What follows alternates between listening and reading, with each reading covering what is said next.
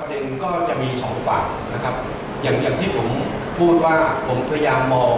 อการเกิดขึ้นของ Apple นะกับการเกิดขึ้นของ EMS เป็นตัว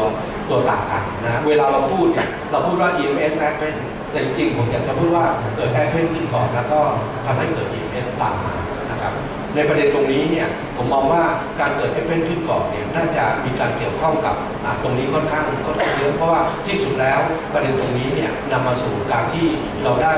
คุณภาพของลูกคู่นะครับที่ที่ไม่แข็งแรงนะซึ่งในองค์รวมแล้วนะครับเราพบว่าอ่าตับกุ้งเนี่ยเขาเขามีลักษณะที่ผิดปกติตั้งแต่กุ้งทีที่เราเราขายมาแล้วนะเพราะฉะนั้นถ้าสมมติเราจะจัดการควบคุมแอปเปิลจริงๆ เราก็อาจจะต้องจัดการในส่วนนี้ นะในเรื่องของไม่ว่าจะเป็นการดูว่าพ่อแม่พันธุ์ของเราอาจจะเป็นเลือดชิดหรือเปล่า อาจจะติดเชื้อมาหรือเปล่านะครับ แล้วก็การจัดการอนุบาลระบบการอนุบาลเป็นอย่างไร เอื้อให้มีการสะสมของเชื้อ เชื้อตัวที่ก่อให้เกิดแอปเปิลไหมและมันติดมากับลูกลูกลูกนะครับคราวนี้ก็จะเข้ามาคุยว่าในสภาวะที่เราจำเป็นจะต้องปรับเปลี่ยนการจัดการเนี่ยนะครับ ในเรื่องของสมดุลน้ำในระบบนิเวศบ่อเลี้ยงกุ้ง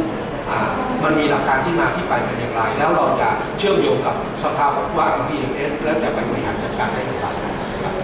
ตรงนี้เป็นอ่าสไลด์พื้นฐานที่เข้าใจง่าย แล้วก็ที่ผมมักจะใช้อธิบายเสมอว่าในน้ำเนี่ยมีกระบวนการทางชีววิทยาอะไรบ้าง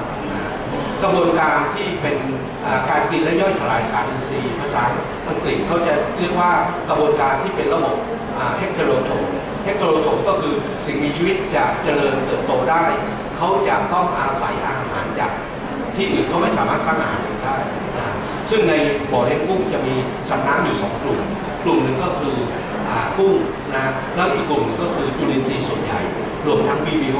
นะครับนะพวกนี้เขาต้องการสารอินทรีย์นะครับนะแล้วก็ก็เอาสารอินทรีย์มาสร้างเกิดพลังงานในการเจริญเติบโตนะครับเขาต้องการแอมโมเนีย นะครับเขาต้องการออกซิเจนแล้วก็ปล่อยคาร์บอนไดออกไซด์อันนี้เป็นตัวพื้นนะครับเพราะฉะนั้นถ้าสมมติว่าในกรณีที่กุ้งของเราเขาเป็น EMS นะครับเขาจะกินสารอินทรีย์หรืออาหารได้น้อยลงนะทั้งการกินและการการย่อยนะเพราะฉะนั้นสิ่งที่เกิดขึ้นก็คือแอมโมเนียในระบบบ่อเลี้ยงกุ้งเนี่ยจะหายไปทันทีขึ้นอยู่กับความรุนแรงของ